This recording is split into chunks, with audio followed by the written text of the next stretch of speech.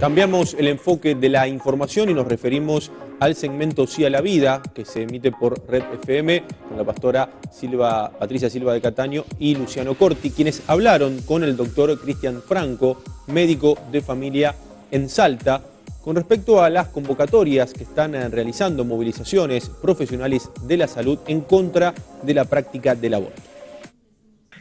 Con mucha preocupación, mucha incertidumbre eh, también hay presión de distintos organismos, eh, porque obviamente necesitan de los trabajadores de la salud para poder implementar esta injusta ley.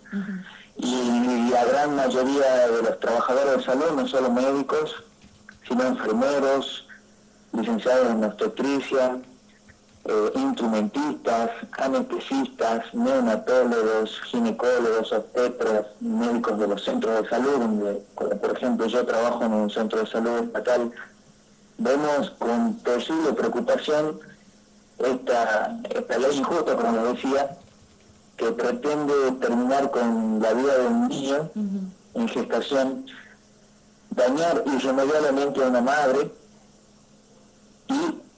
avasallar los derechos de objeción de conciencia y libertad que tiene todo ciudadano del suelo argentino garantizado en nuestra Constitución en el artículo 14. Así que bueno, muy preocupados y justamente eso es lo que nos ha movilizado a, empezar a trabajar, a concientizar a nuestras comunidades de la gravedad de este proyecto de ley.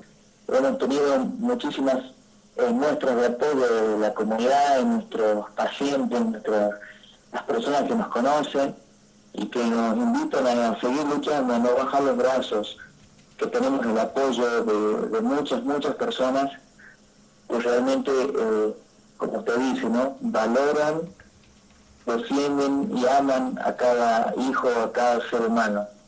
Así es. Eso no tiene ningún valor eh, monetario, simple, porque el valor de un ser humano es infinito. Es muy, muy loable que, en otras provincias se hayan unido los colegas de, los, de trabajadores de la salud para, para bueno, rechazar esta ley, ¿no?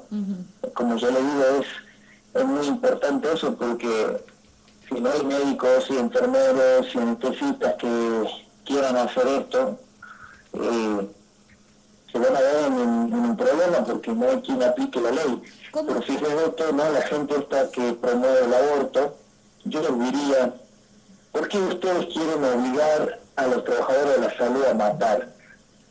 ¿Ah? Me gustaría que, estas personas que dicen defender los derechos humanos, que les importa la vida de la mujer,